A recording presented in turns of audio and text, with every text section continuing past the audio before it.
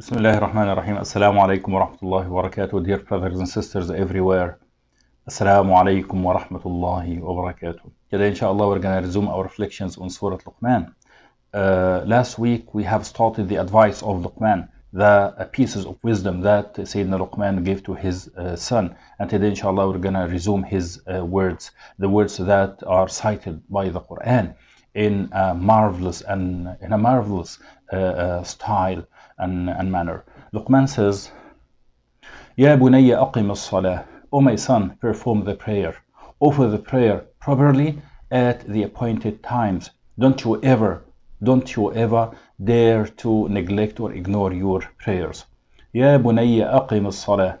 And we have dealt with the meaning of iqamat as-salah and the difference between iqamat as-salah and the ada as-salah when we tackled the verse number uh, uh, 4 when we said الذين يقيمون الصلاة ويؤتون الزكاة وهم بالآخرة هم يوقنون when Allah subhanahu wa ta'ala was giving us some of the descriptions of the al-muhsinin the righteous ones or the doers of good so uh, it's not necessary it's unnecessary to repeat that uh, here uh, again today يا بني أقم الصلاة O my son perform the prayer وأمر بالمعروف وانهى عن المنكر enjoin the good and forbid the evil to the best of your ability and strength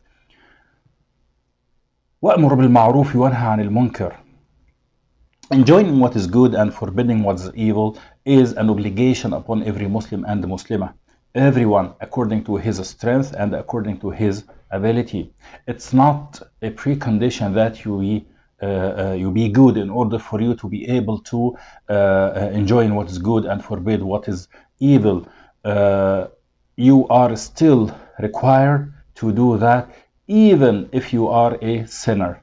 Some scholars say that يجب على متعاطي الكاس أن ينكره على الجلاس one who is drinking with others he is drinking alcohol he is drinking wine or alcohol he one who is drinking with others must tell them that what they are doing is forbidden and haram in Islam and that they should quit.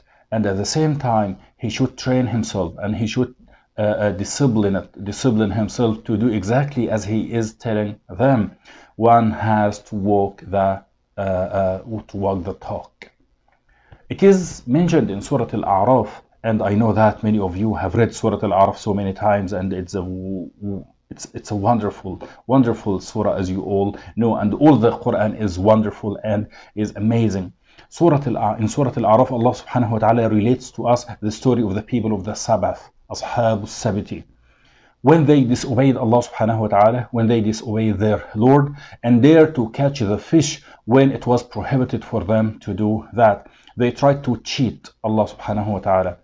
They tried to cheat Allah subhanahu wa ta'ala, but Allah subhanahu wa ta'ala knows everything as you uh, remember يا بني إنها إن تكن مثقال حبة من خردل حبة من خردل فتكن في صخرة أو في السماوات أو في الأرض يأتي بها Allah. So Allah subhanahu wa ta'ala knows everything. Allah subhanahu wa ta'ala knows what is hidden and what is uh, apparent. Allah subhanahu wa ta'ala knows what's hidden uh, uh, within the soul of a human being. And uh, if a, a, black ant is hidden into a black stone, smooth black stone, Allah subhanahu wa ta'ala knows uh, everything about it. So those people, Ashab al-Sabbath, the people of the Sabbath, they disobeyed Allah subhanahu wa ta'ala and the community, some of them disobeyed Allah subhanahu wa ta'ala, and the community divided into three groups. Their community divided into three groups. One group disobeyed Allah subhanahu wa ta'ala and committed the forbidden. A second group took a side and started to watch without saying anything. They kept silent. They remained silent. But a third group started to advise the sinful ones, the sinful group. However, those who stepped aside blamed those blamed those who blamed the advisors as saying وإذا قالت أمة منهم لم تعظون قوما الله مهلكهم أو معذبهم عذابا شديدا and when a community among them said why do you advise or warn a people whom Allah is about to destroy or to punish with a severe punishment the third group the advisors answered them as saying قالوا معذرة إلى ربكم ولعلهم يتقون That was what they were thinking. That was their philosophy then. That was their attitude. They said, قالوا معذرة إلى ربكم. They said to be absolved before your Lord. That we find some excuse with our Lord that we have uh, enjoying the good and forbidden the evil. قالوا معذرة إلى ربكم to be absolved before your Lord. وَلَعَلَّهُمْ يَتَّقُونَ And perhaps they may fear Him. Perhaps they listen to us. Perhaps some of them listen to us and our words enter into their hearts and penetrate their hearts and they become obedient again to Allah subhanahu wa ta'ala. And they discard the disobedience that they have observed and maintained against Allah and against Allah's uh, uh, ordinances. قالوا معذرة إلى ربكم ولعلهم يتقون فلما نسوا ما ذكروا به and when they forgot that by which they had been reminded أنجينا الذين ينهون عن السوء we saved those who had forbidden evil Allah subhanahu wa ta'ala saved those who enjoined what is good and forbidden and forbid what is uh, forbid what's evil Allah subhanahu wa ta'ala uh, saved the advisors أنجينا الذين ينهون عن السوء we saved those who had forbidden evil وأخذنا الذين ظلموا بعذاب بئيس بما كانوا يفسقون and seized those who wronged with a wretched punishment because they were defiantly disobeying فلما عتوا عما نهوا عنه so when they were insolent about that which they had been forbidden قلنا لهم كونوا قردة خاسئين we said to them be apes despised Allah subhanahu wa ta'ala turned them all into apes Allah subhanahu wa ta'ala gave them the severe punishment of turning them into apes so the only group that was saved by Allah subhanahu wa ta'ala was that of the advisors those who enjoined what's good and forbade what's evil so if you if you do not enjoin what's good and forbid what's evil, you can be punished by Allah subhanahu wa ta'ala side by side with the sinful ones, even though you haven't participated with them in what they were doing. But here there is a question that begs answering. Is enjoining what is good and forbidding what is evil always obligatory? No, it's not always obligatory. And this may surprise, surprise some of you. It is not always obligatory. Enjoying al-amr bil ma'ruf wa nahy al munkar, enjoying what is good and forbidding what is evil, what is evil can be obligatory in some situation. It, it can be obligatory. It can, it can be recommended. It can be permissible. It can be resentful and it can be forbidden based on the situation based on the context and the situation in which you are asked or you are demanded to observe that and to maintain that. And to be frank, this needs a lot of explanation which goes beyond the scope of these reflections. This needs a, a, a, complete lesson and a comprehensive lesson on the fiqh of the jurisprudence of al-amr bil ma'ruf wa nahy al-munkar, the jurisprudence of joining Uh, uh, enjoining what is good and forbidding what is evil. But also, some of you may ask, how should I enjoin what's good and uh, uh forbid what's evil with my parents? My parents. If I see my father or my mother are doing something which is not good, something, something which is a remark or a sign of disobedience to Allah subhanahu wa ta'ala, I can say that. Addressing your parents or educating them about something may hurt them. It may hurt their feelings. Therefore, one should seek a practical approach instead. Don't talk directly to your father or mother. Don't address them in a direct way, but choose to seek a practical approach with them. Let me give you some examples. If your father doesn't pray at the, uh, at the masjid or at the mosque or at all, once you get ready for the prayer and you let him know that you are going to pray at the masjid in a nice way. This is as if you have told him everything. He will be notified of this, but in a kind way, without hurting or insulting him. Similarly, if a daughter who is hijabi, while her mother is not, she wants to tell her mother about the obligation of hijab in Islam. It suffices her to uh, stand in front of the mirror before her mother and starts to tidy her hijab without saying anything. This will remind the mother and educate her without insulting her or hurting her feelings. And let me give you an example on how to uh, to do that, to enjoy what's good and forbid what's evil with a just ruler. Not every ruler, ruler deserves to be treated that way. Here, my example is concerned with or is is connection connection with the just ruler. Uh, and this is the story of uh, Abu Yazid al-Raqqash with Abu Ja'far al-Mansur. And Abu Ja'far al-Mansur is known to have been a very righteous person someone who fears Allah subhanahu wa ta'ala. The story says a Magian, a one, one who uh, worships fire, one who pretended to be a Muslim. He went to visit Al-Mansur, Abu Ja'far al-Mansur, and he told him that. The bad smell of the sweat of those who go in circumambulation around the Kaaba, those who do tawaf around the Kaaba, uh, the, the, that bad smell hurts the uh, pilgrims and the, those who perform the uh, minor Umrah, Hajj and Umrah. So he advised uh, Abu Ja'far al-Mansur to put al-bakhur, incense, wat-tib, herbs having a nice smell, above, on top of the Kaaba. So that, so that when the, uh, when the wind blows, uh, a good smell will be carried to people. People will, will find a good smell. Abu Ja'far al-Mansur liked the idea. And he immediately ordered that uh, uh, incense and these uh, good smelling uh, herbs should be put atop the Kaaba. The intention of that Magian man was that in order for incense to be uh, lit and to give that fragrance, it should be put above fire. So the intention of that Magian was that fire should be put on top of the Kaaba. And while Muslims are uh, performing tawaf, they would be making tawaf around the fire. And that he restores the worship of fire again without Muslim, without, uh, uh, without the knowledge of Muslims.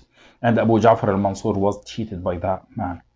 But when Abu Yazid al-Raqqash, uh, uh, uh, when he knew about that, he asked some of his colleagues, some of his uh, uh, uh disciples, to uh, announce that he would go to perform Hajj on that year. And when the Khalifa Abu Ja'far al-Mansur knew that Al-Raqqash is going for Hajj that year, he intended to go for Hajj as well in order to meet with Al-Raqqash because it was the habit of the Khalifs, of the Khalifs, it was the habit of the rulers of the Muslims, the leaders of the faithful to go to seek the advice of the knowledgeable people like Al-Raqqash. And when Al-Raqqash was about to give his sermon in front of the Khalifa, and before that he asked one of his disciples, stand up and raise your hand and ask me about this issue. He asked one of his disciples to ask him about this issue in order for him to be able to give an answer to that and to give an advice to the Amir al-Mu'mineen, to the Khalifa uh, in an indirect way. So, Ar-Raqqash started his khutbah and one of his disciples uh, uh, stood up and he raised his hand and he asked him about the issue. So Al-Raqqash replied him as saying, أأنت أعلم أم أمير المؤمنين? Are you more knowledgeable than the leader of the faithful? الذي لا يمكن أن يسمح بعمل ذلك. Amir al-Mu'mineen, the leader of the faithful, cannot allow something like this to happen or to take place in order not for the fire to be worshipped around the Kaaba. And he blamed the man severely. So Al Khalifa got it. Al Khalifa understood and realized his mistake, and he sent immediately on the spot. He sent someone to uh, uh, uh, uh to remove the incense and the fires from above the Kaaba. See, This is how the scholar Al-Raqash advised the Khalifa in an indirect way without hurting his feelings and without declaring his or announcing his disobedience to his orders in front of all people. And this is and this is uh, uh, uh, a sign of respect. And this is one of the etiquettes of enjoining what is good and forbidding what is evil with parents and with the just ruler as I said now let's go back to uh, Luqman and his advice to his son Luqman says يا بني أقم الصلاة وأمر بالمعروف وانهى عن المنكر واصبر على ما أصابك واصبر على ما أصابك and bear with patience whatever befalls you Luqman knew he knew that whoever enjoins what is good and forbids what is evil will inevitably encounter harm and annoyance from people so he told him he told his son to be patient إن ذلك من عزم الأمور verily these are some of the important commandments being patient when people cause harm or annoyance is one of the most important commandments a sage Muslim should ensure that he has the right equipment for the battle against evil one should worship Allah subhanahu wa ta'ala alone address prayers to him and remain steadfast despite adversity and the adversity can take many forms, from deviation to stubbornness, turning away, verbal and physical abuse, loss of property and wealth, as well as physical hardship. Some say, إذا أصبت بشيء فلا تنظر إلى ما أخذ منك ولكن انظر إلى ما بقي لك. If you are afflicted with, with something, if you are afflicted with something bad, don't look at what has been taken away from you, but look at what you have left. Maybe, maybe your plight, your hardship, your calamity is uh, uh, is less than uh, uh, these of others. Let me give you an example on this. There was a Chinese wise man, a Chinese sage, and many people went to him. They started to complain about their plights, their difficulties, their hardships, and their trials. And he asked them, all of them, each one of them, to write his uh, plight, to write his hardship, to write his situation on a piece of paper and to put it in a specific box. And after a week, after a week, they should come to collect their papers again with the solution.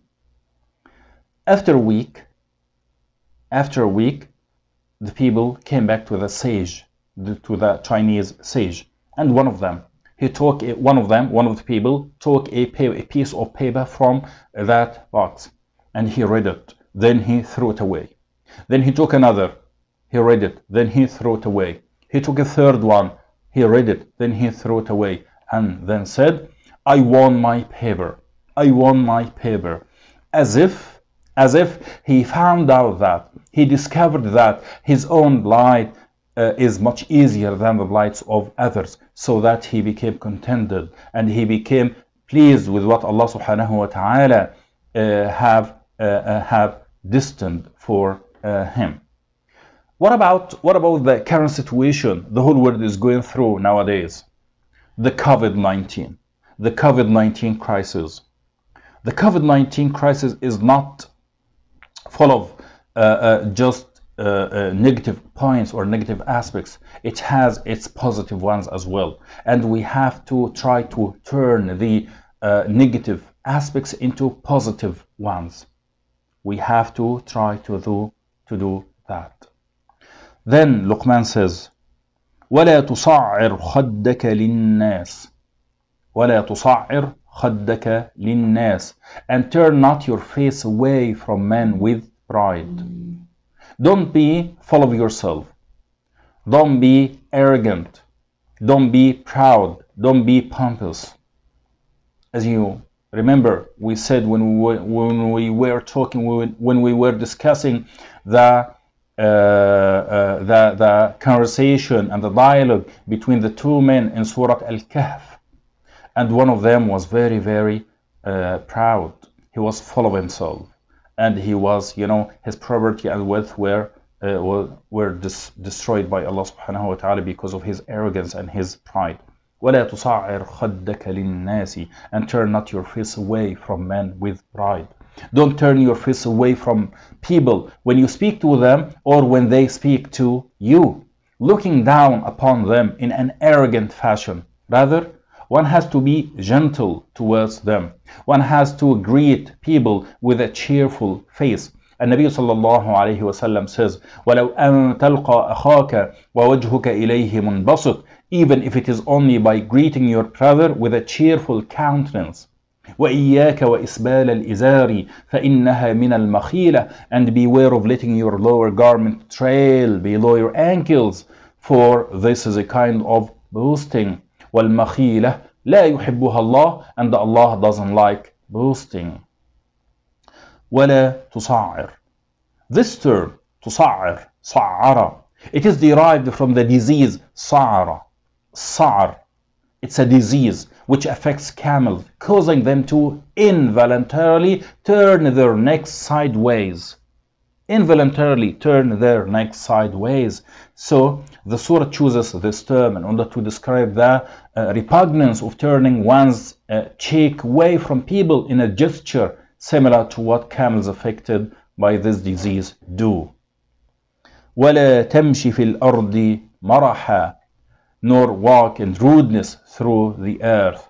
Don't be boastful, arrogant, proud, and stubborn. Don't do that, for Allah will hate you. Walking haughtily is another type of behavior, suggesting carelessness about people and their feelings. This is again a gesture that is disliked by Allah and by man.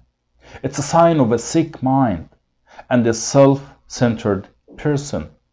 إن الله لا يحب كل مختال فخور Verily Allah likes not any arrogant poster, one who shows off and admires himself, feeling that he is better than others. If you feel, if you feel that you are better than others, you are better than anyone else, you are an arrogant person. Allah subhanahu wa ta'ala says in, in another surah, وَلَا تَمْشِ فِي الْأَرْضِ مَرَحًا and walk not on the earth with conceit and arrogance. إِنَّكَ لَن تَخْرِقَ الْأَرْضَ Verily, you can neither rend nor penetrate the earth. وَلَن تَبْلُغَ الْجِبَالَ طُولًا Nor can you attain stature like the mountains in height. Then Allah subhanahu wa ta'ala says, وَاقْصِدْ فِي مَشْيِكَ وَاقْصِدْ فِي مَشْيِكَ And be moderate in your walking. Walk in a moderate manner, neither slow and lazy nor excessively fast, but be moderate, somewhere in between these two extremes. Such modesty is expressed in Arabic with the, uh, the word iqsud. And from the word iqsud, we derive the word iqtisad, economy. And we and and the, and the qasd, qasd meaning a definite purpose.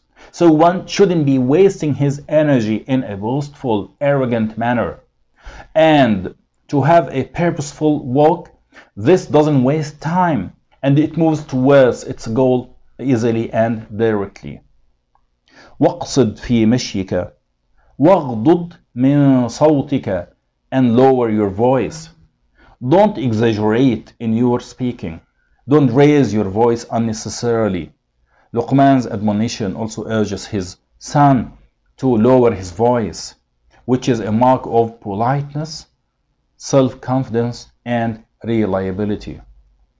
It's only an impolite person or one who has self-doubt or uncertainty about what he says resorts to speaking loudly as if he tries to uh, as if he is trying to uh, disguise such doubts by raising his voice واغضض من صوتك إن أنكر الأصوات لصوت الحمير إن أنكر الأصوات لصوت الحمير Verily the harshest of all voices is the braying of the, the asses The ugliest of all voices is the voice of the donkey This means when a person raises his voice the resulting noise is like the voice of a donkey in its loudness and this is hateful to Allah subhanahu wa ta'ala Allah subhanahu wa ta'ala dislikes this. So likening a loud voice to that of a donkey implies that it's forbidden and blameworthy as well. And Nabi sallallahu alayhi wasallam is reported to have said by Sayyidina Abu Hurairah إذا سمعتم صياح الديكة فاسألوا الله من فضله فإنها رأت ملكا When you hear the crowing of cocks, ask for Allah's blessings, for their crowing indicates that they have seen an angel. وإذا سمعتم نهيق الحمار فتعوذوا بالله من الشيطان فإنه رأى شيطانا And when you hear the braying of donkeys, seek refuge with Allah from Satan, for their braying indicates that they have seen a Satan. And this hadith is narrated or combined by Al-Bukhari. Now, the advice of Luqman. As you can see, this is a very useful advice. These are very useful pieces of advice which the Quran tells us about Luqman and his son. And there are so many other proverbs and words of wisdom that were narrated from him. And let me give you some of them. And some of them were uh, narrated or related in some of the hadith of the Prophet ﷺ, while others were not. Imam Ahmad, for example, in his Musnad, he recorded that Ibn Umar said, the Messenger of Allah ﷺ said, إن لقمان الحكيم كان يقول إن لقمان الحكيم كان يقول لقمان the wise used to say إن الله إذا استودع شيئا حفظه When something is entrusted to the care of Allah, He protects it. Again, when something is entrusted to the care of Allah, He protects it. So, if you fear for something that you own, if you fear for anything that you have, your son, your car, your house, anything, anything that is precious to you, anything that has value. So you have to entrust it to the care of Allah subhanahu wa ta'ala because if you do so, if you do that, it, will it will be protected for you by the, the old protector, the one who can protect anything and any and, and, and everyone subhanahu wa ta'ala. There was a, a, a very uh, uh, uh, amusing uh, story about a man who uh, owns a car. He has a car, and that car used to be stolen and robbed from time to time. Uh, wherever he puts it, wherever he keeps it, it's being uh, uh, stolen or something is taken away from, from it. Until the day when he said, Allahumma inni astawda'tuka sayyarati. Oh Allah, I have put, I have entrusted uh, uh, uh, Uh, uh, uh, I have entrusted you with my with my car. And afterwards, after he said that, nothing was taken away from that car. And even some of the things that were previously stolen from him and, take, and, and taken away from him were returned to him. Why? Because he uh, entrusted Allah with it. He entrusted that car to the care of Allah subhanahu wa ta'ala and Allah protected it for him. Luqman was also reported to have said, الحكمة الحكمة تجلس الفقير مجالس الملوك. Wisdom puts the poor in the company of kings. If you are a poor person, but Allah subhanahu wa ta'ala bestows upon you hikmah, this wisdom, this hikmah will elevate your status. It will elevate you so that you can sit with kings. Awn ibn Abdullah said, Luqman told his son or said to his son, O my son, when you come to a gathering of people, greet them with salam. When you come to a gathering of people, greet them with salam. Then sit at the edge of the group and do not speak until you see that they have finished speaking. Then, if they remember Allah, join them. But if they speak of anything else, then leave them and go to another group. And I believe this is a very good advice, which every one of us, we should emulate, we should adopt, and we should carry out and obey. Also Luqman said to his son, يا بني يا بني لا تصدق من قال إن الشر بالشر يطفأ. Oh my son, don't believe those who say that evil can put evil out. فإن كان صادقا فليوقد نارين وينظر هل تطفئ إحداهما الأخرى If this is true let him set two fires and see whether one of them would put the other out إنما يطفئ الخير الشر كما يطفئ الماء النار Indeed, good puts the evil out as water puts the fire out. Also Luqman said to his son, يا بني ما ندمت على السكوت قط I have never regretted keeping silent. I have never regretted keeping silent. يا بني بئرا شربت منه لا ترمي فيه حجرا O my son, a well, a well from which you have drunk.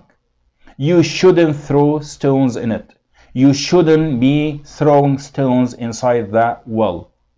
يا بني عود لسانك اللهم اغفر لي فإن لله ساعات لا يرد فيها سائلا Keep repeating the saying, O my son, keep repeating the saying, O my Lord, forgive me. O my Lord, forgive me. O my Lord, forgive me. As there are hours in which Allah subhanahu wa ta'ala uh, uh, doesn't rebel in a seeker of His blessings and forgiveness. يا بني and this is another one يا بني اثنتان لا تذكرهما أبدا اثنتان لا تذكرهما أبدا إساءة إساءة الناس إليك وإحسانك للناس O my son, two things you should never tell about. Two things you should never tell about. When people do injustice to you and when you do good to people. يا بني لا تكن حلوا فتبلع ولا مرا فتلفظ. Don't be too sweet so that you are swallowed. And do not be too bitter so that you are discarded. يا بني لا تأكل شبعا على شبع فإنك إن تلقه للكلب خير من أن تأكله. Don't eat while you are not hungry. It's better to give it to a dog if you are not hungry. يا بني نقل الصخور من مواضعها أيسر من إفهام من لا يفهم. Moving stones from their places is easier, is much easier than making those who are unable to understand get it or realize what you are saying. يا بني الرفق رأس الحكمة. Gentleness is the head of wisdom. يا بني And we conclude with this one. يا بني إذا كنت في بيوت الناس فاحفظ بصرك. If you were visiting others at, this, at their places of residence, lower your gaze. وإذا كنت في مجلس فاحفظ لسانك. And if you were in a gathering, hold your tongue. وإذا كنت في صلاة فاحفظ قلبك. And if you were in your prayer, maintain the alertness of your heart. Keep your heart alert. Keep your heart alert and ready to uh, receive the favors of Allah subhanahu wa ta'ala and His blessings. I ask Allah subhanahu wa ta'ala to make us all from among those who listen to the saying and they to listen to the saying and they obey the best of it. أسأل الله عز وجل أن يجعلنا ممن يستمعون القول فيتبعون أحسنه وأترككم في رعاية الله and see you next week إن شاء الله السلام عليكم ورحمة الله وبركاته